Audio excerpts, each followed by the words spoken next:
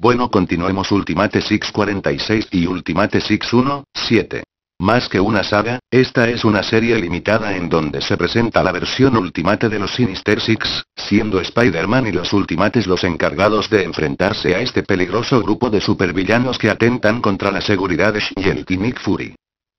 Catsy Kings 47, 53. Este arco argumental presenta dos historias.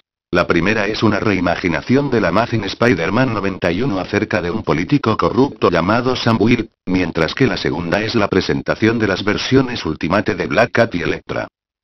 Hollywood 54, 59. Es una parodia de la película Spider-Man 2. Se está produciendo un filme no autorizado acerca de Spider-Man con Doctor Octopus como el villano principal siendo el protagonista del filme Tobey Maguire. Mientras que Sam Raimi, Bruce Campbell y Avi Arad aparecen como cameos. Gwen también descubre que Peter es Spider-Man y atenta contra él apuntándole con un arma, no es hasta que Peter que le explica que el que lo asesinó fue un impostor que ella misma lo perdona.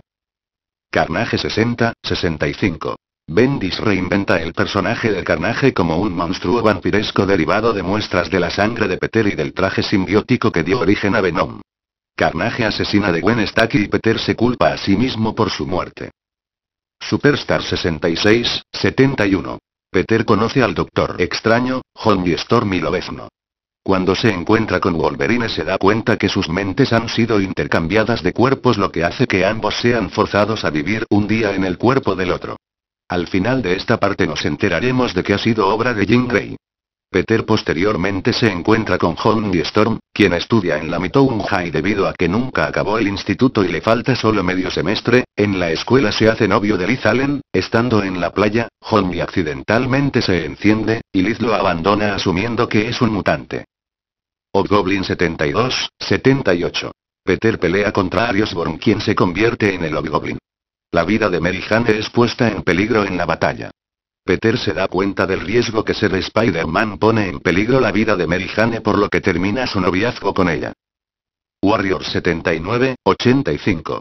Se suscita una guerra de pandillas en la cual Shanky, Monk y Iron Fist se encuentran involucrados. Ultimate Spider-Man Anual 1.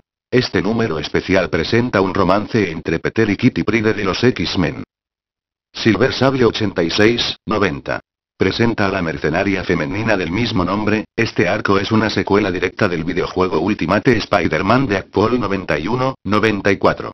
Presenta a Deadpool y su grupo llamado The Reavers, quienes capturan a Spider-Man y a los X-Men y los llevan a Krakoa a presenciar una ejecución en vivo. Miles Warren aparece como el interés amoroso de la tía May. Hasta la siguiente parte comenten y si les gustó el vídeo suscríbanse.